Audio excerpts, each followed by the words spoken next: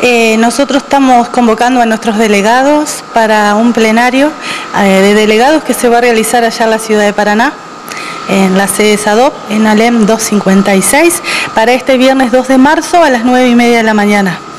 Eh, al respecto te diría que la situación de SADOP eh, ya no es la misma, por ejemplo, que la del año anterior, donde al no haber paritaria federal no somos, un gremio de paritaria nacional, es decir, no somos paritario acá en la provincia. Sí tenemos muy buena relación, mantenemos una mesa de negociación exclusiva con el gobierno, donde el sindicato puede llevar las necesidades propias del sector y también eh, tenemos participación junto con AMET, UDA y ACMER en las reuniones que se mantienen con el gobierno. En el día de ayer se mantuvo la segunda reunión, en donde eh, se va a analizar y ver esta segunda propuesta. Eh, que no dista mucho ni demasiado de la anterior. yo creo que es un momento en el que sobre todo teniendo en cuenta lo que han determinado otros gremios, eh, nosotros más allá de que tenemos autonomía y demás, eh, y por medio de los mandatos que hemos tenido de los distintos compañeros a las instituciones, la idea es seguir negociando y eh, empezar a estar en el aula, es decir, seguir negociando en el aula.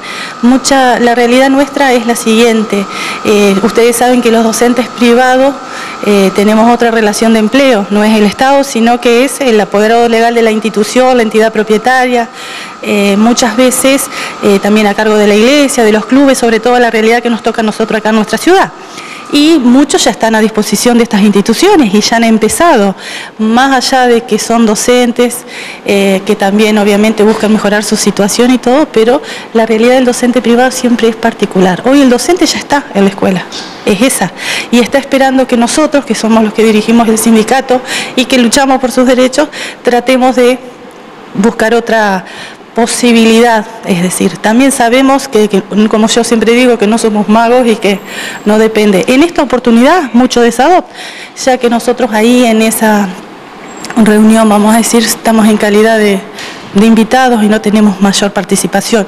Y no nos queda otra que supeditarnos las decisiones que toman los otros. Ustedes participan, me decías que participan de la paritaria nacional. Exacto.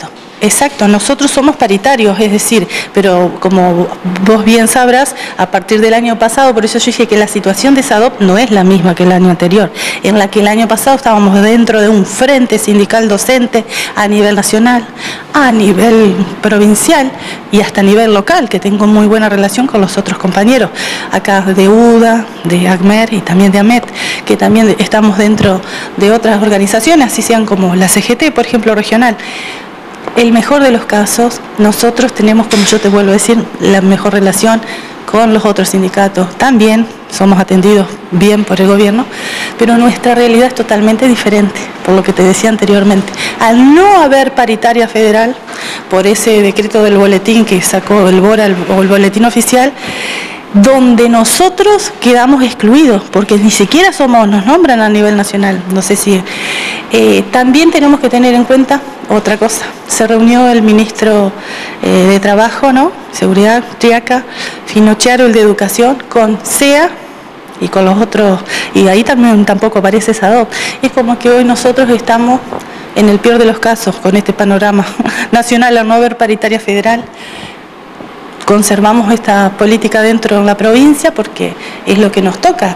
Y a su vez de todo eso, la realidad que nos, nos lleva a que tenemos que directamente nuestras cámaras de empleadores son, como yo te decía, la iglesia, los clubes, es decir, que hay otra relación directa. Por eso es más difícil aún eh, tratar de converger en este universo de tantas variables la realidad es otra. Nuestros, todos nuestros compañeros están ya, inclusive están trabajando y han estado a disposición en las instituciones, en los clubes, y están expectantes también de lo que vaya a suceder.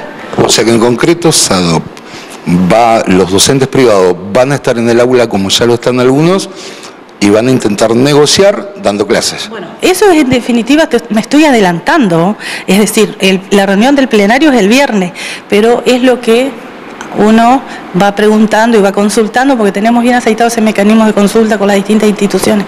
Todos están trabajando ya.